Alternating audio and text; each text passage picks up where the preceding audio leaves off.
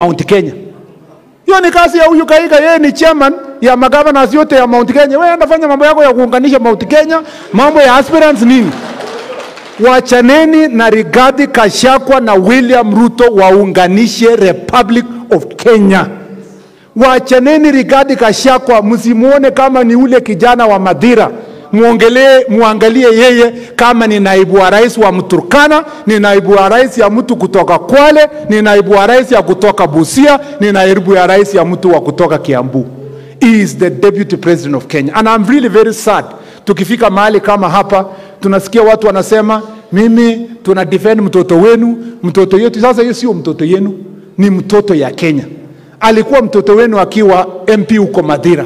Saa hii tukiongea ni mtoto ya Kenya, sio mtoto ya hii village wenu hapa. He must be let go. Let him do his job. Nyinyi msipatie wrong advice, msipatie wrong advice. Ati rudi nyumbani hapa, kucha sanya chizi, handua nyumba e, Murkomen hata kama ameoa mtoto wetu si wa hapa, kwani mimi ni wa wapi? Si mimi ni wa Nyeri? Tukitaka kujenga nchi yenye iko moja, tuunganishe nchi yetu kwa kuhubiri umoja wa taifa. Na Bishop wa Ng'ombe unisaidia hapo, na nyinyi mapasta mko hapa. Mimi nikikuja hapa najisikia niko nyumbani, na nataka watu wakikuja mara kwetu wajisikie wako nyumbani. Nataka watu wakienda North Eastern wajisikie wako wapi? Nyumbani. Nchi yetu ni kitu kimoja, and I want to request you my friend governor, that's why sikutaka uende, nataka leo usikie wewe ni mzee kuliko mimi. Wewe hii maneno mimi najua hujaambiwa na Rigathi, ni maneno umesikia kwa fununu fununu huko. Mimi sasa ndio nakaa na Rigathi kwa cabinet na ni naibu wa rais ya Kenya. Punguza petroli ndugu yangu, weka ukipata petroli iko juu, weka maji, wacha kuongeza mafuta isonge mbele. Ama mnataka namna gani? Nyinyi mnataka umoja ama mnataka petroli iwekwe juu?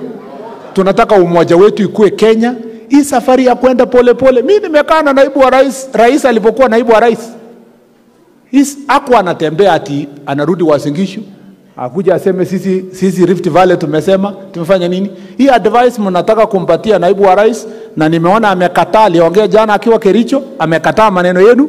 Sisi tushikane pamoja, tusukume nchi yetu ikuwe kitu kimoja, ndio tubadilishe watu wetu, maneno yenye inaenda mbele. Na mimi niko tayari kuhakikisha narudi nitarudi yenye tutakuja kulala hapa yeah? kuangalia mabarabara zetu, kusaidia kuhakikisha mabarabara zimeisha na maproblem zingine yenye itakuwa kwa mambo ya uchukuzi na, na barabara, mimi niko tayari kufanya hivyo, na kwa sababu mimi ni kijana ya reverend na baba yangu ni reverend ya kanisa, Jumapili ikifika ikinipata hapa, niko tayari kusaidiana na kanisa, tujenge kanisa, tufanye mambo ingine isonge mbele. Ama nimeongea baya?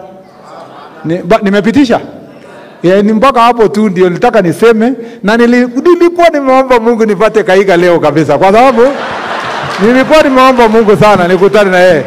Hata niliuliza huyu mkambi na kama anakuja akaniambia sijui. Vile nilipata yeye amekaa, nikasema Bwana asifiwe kabisa.